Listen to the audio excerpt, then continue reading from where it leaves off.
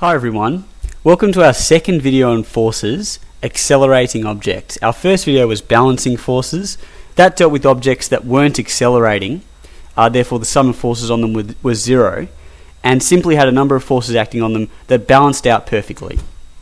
In this case, the forces won't balance out perfectly. We're going to be looking at objects that have a net force that is not zero, and therefore an acceleration that is not zero in some direction. Uh, we're going to use a bike for this example. Let's give a bit of information about it. We'll say the bike has mass 30 kilograms. That won't change. We'll say it has initial velocity 0, final velocity 8. So, really, what we're looking at is a bike in one instance here, which is stationary, and then another instance here which is zooming along, but use your imagination for that part. Uh, and we'll say, as of now, it does not have any frictional forces on it. So the only forces acting on this bike are the weight force, the normal force, I'll draw it from the center of the object, and the driving force there at least for the first question which we're doing. Uh, the key bits of information for question one is the total time it takes to go from 0 meters a second to 8 meters per second is 16 seconds. So t is equal to 16 seconds. And the question will ask, what is the driving force on this bicycle? Fd is equal to. Okay. Let's figure out the acceleration of this bicycle.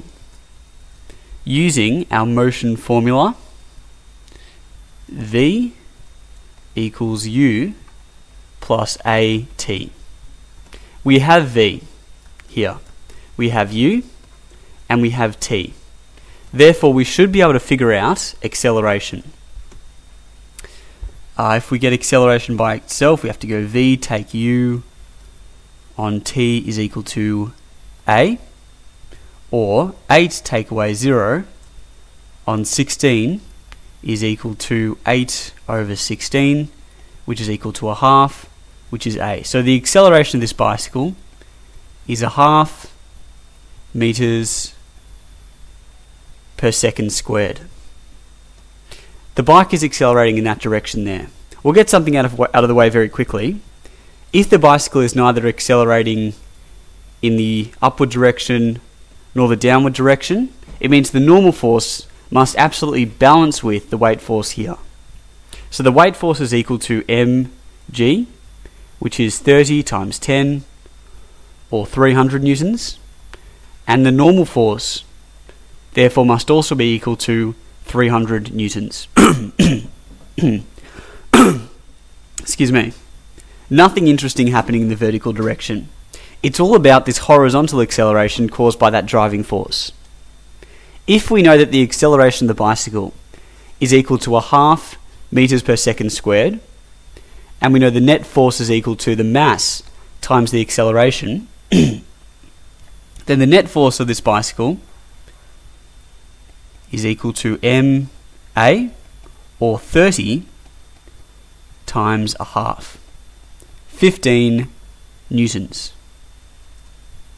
Since there is only one force, this is in the horizontal direction by the way, since there's only one force which is causing that acceleration, the net force is equal to the driving force there. So the driving force is equal to 15 newtons.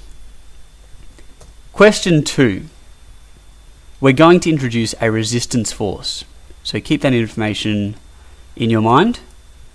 Now we have a resistance force there. And we'll say that resistance force has a magnitude of 30 newtons.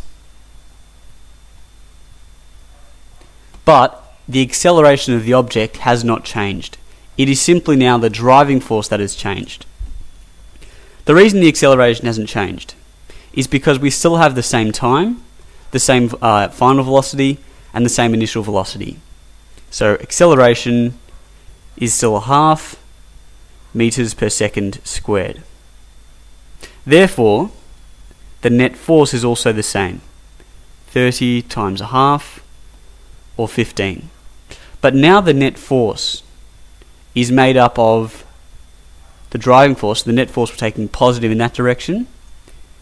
It's made up of, of the driving force, Fd, Fd, take away, since it's acting the opposite direction, the 30 Newton resistance force.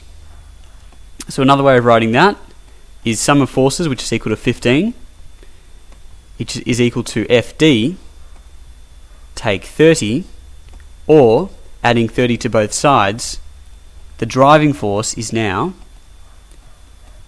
45 newtons. So if we introduce a resistive force here, and we want to maintain the same acceleration, we really have to increase the driving force to overcome this force back here. Now the third question I'm going to ask, assume we have that same uh, that same um, resistive force, but the driving force is now a mystery. Furthermore, the time taken to accelerate is a mystery, but we know that from being stationary to reaching 8 meters per second, the bike moved a total of 20 meters. So S is now 20 meters. Let's figure out the driving force required by the bike to achieve the acceleration from 0 to 8 meters per second in 20 meters. So using the motion formula, v squared equals u squared plus 2as. To find FD, we need to know the sum of forces. To know the sum of forces, we need to know acceleration. To find acceleration, we need to have v, u, and s, which we do. Let's get acceleration by itself. v squared take away u squared all over 2s is equal to a. Or 8 squared take away 0 squared all over 220 is equal to a. Or 64 on 40 is equal to a, which is equal to 1.6. So the bike is accelerating at 1.6 meters per second squared. Now we can figure out the sum of forces. The sum of forces is equal to mass times acceleration, which is 30. All, of course, all this ignoring the fact that someone would be on the bike. But right now, let's just assume this is a bike that's accelerating by itself.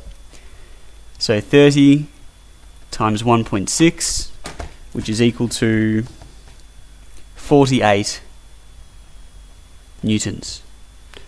So that is the net force uh, on this bicycle. And we know from our force diagram, talking in the horizontal direction, the net force is equal to the driving force, take away the resistive force. So 48 is equal to driving force, take away 30, or the driving force is equal to 78 newtons. I hope this question enabled you to understand, um,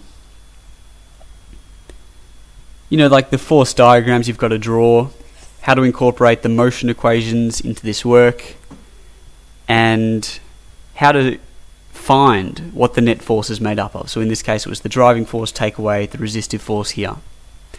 I was sorry, I was caught up there. One final thing I'd like I'd like to work out here is how long it took for that bike to accelerate through those 20 meters uh, from 0 meters a second to 8 meters per second. And I realized we can actually use that equation there. V equals U plus AT. V take U on A equals T. 8 take away 0 over the acceleration we found was 1.6 equals T, which is equal to 8 divided by 1.6 5 seconds. So the bike took 5 seconds to accelerate, in this case over here. That seems like a pretty good place to end that lesson. Next, we'll be looking at objects on slopes.